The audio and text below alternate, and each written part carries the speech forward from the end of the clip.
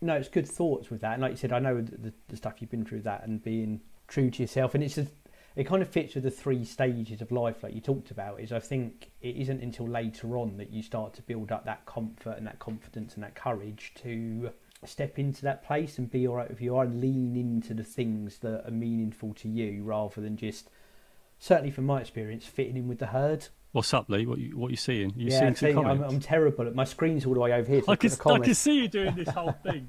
So, friendly comments from you from Lewis from work. Um, Lewis. saying it's good to see the passion. Come on. Thank you so much. I appreciate you. That's it. Thanks for thanks for watching. Hundred percent. Amazing. I love this. Is what it's about. This is what this is about. Step into who you are. Be unapologetic. So long as you're doing good in the world, that's the key. You're helping people, helping people move on, helping people. It's just the best thing. We're all huma- humans. We want to help each other, right? Um, and this is what this is about. This is what gives me the most joy um, by doing this and helping others. And uh, oh, it's so good to get the YouTube call. I love this because this is the this is the first time I've really felt a lot of interaction. Right? I love it. I love it.